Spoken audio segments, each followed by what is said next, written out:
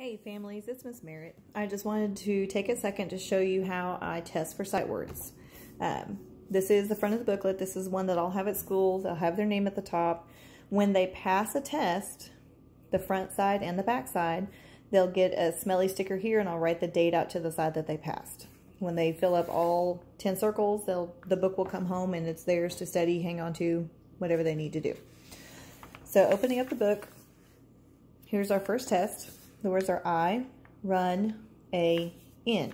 What I will do a lot of the times is cover them up. I'll just use my hand. I'll usually have my pencil. What's this word? What's this word? What's this word? What's this word? And then I may do it a couple of times just to make sure they haven't memorized the order of the words. A lot of the times I will have the kids come in, I'll cover up these words and tell me that word is I because they've memorized it in an order instead of actually knowing what it's supposed to be because they shouldn't be practicing in order. We should uh, be practicing in a random order. And if you want flashcards, I can send those home as well for you to practice.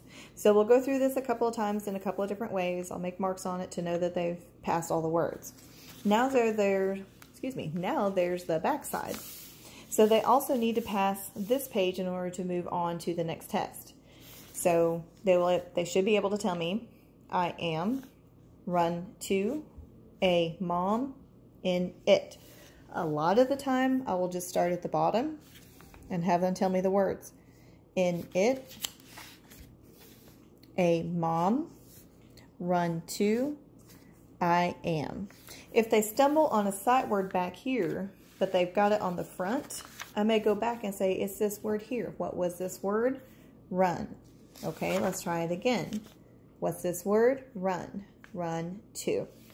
If they're really struggling with the backside, I will probably make them wait to move on and have them test again the following week.